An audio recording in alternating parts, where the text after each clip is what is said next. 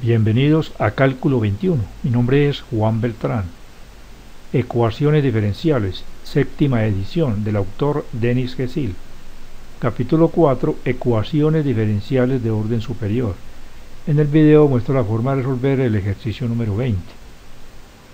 Determine si el conjunto de funciones de estas dos funciones f sub 1 de x igual a 2 más x y f sub 2 de x igual a 2 más valor absoluto de x es linealmente independiente en todos los reales. Le damos la siguiente definición. Dependencia e independencia lineal. Se dice que un conjunto de funciones finito f sub 1 hasta f sub n es linealmente dependiente en un intervalo i si existen constantes c sub 1 hasta c sub n, no todas iguales a 0, tales que la combinación lineal de esas funciones sea igual a 0 para toda x en el intervalo. Si el conjunto de funciones no es linealmente dependiente en el intervalo, se dice que es linealmente independiente. Como en este ejercicio solamente nos dan dos funciones, la función f sub 1 de x y f sub 2 de x, esta es la combinación lineal de esas dos funciones. Y para que sea linealmente dependiente, esta combinación debe de ser igual a 0. Entonces si uno despeja, por ejemplo, mm, f sub 1 de x, eh, queda igual a menos c sub 2 sobre c sub 1 por f sub 2 de x. Y esto es una constante. Así que si las dos funciones son linealmente dependientes, una de ellas es un múltiplo constante de la otra. O lo que es lo mismo, el cociente entre esta función y esta me va a dar un valor constante.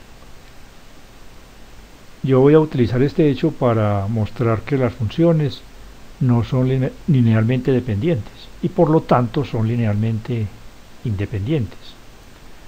Entonces aquí tenemos f sub 1 de x sobre f sub 2 de x es igual a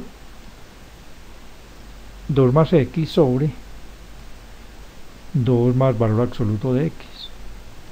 Y el valor absoluto de x se define como igual a x y x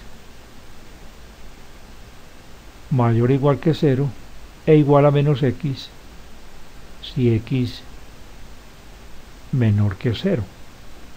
Entonces esto va a quedar 2 más x sobre 2 más x eh, cuando la x es mayor o igual que 0.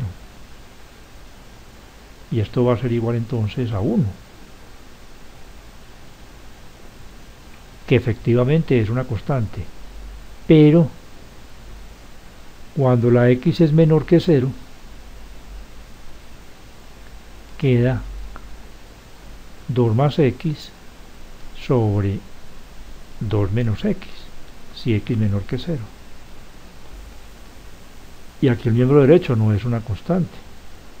El valor del miembro derecho depende del valor que le asignemos a la x.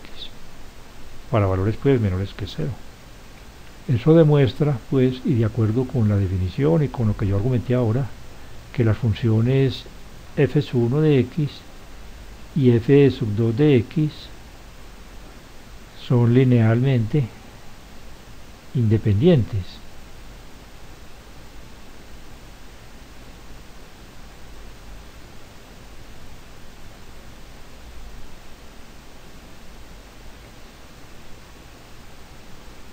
Hasta pronto y ánimo en el esfuerzo por aprender.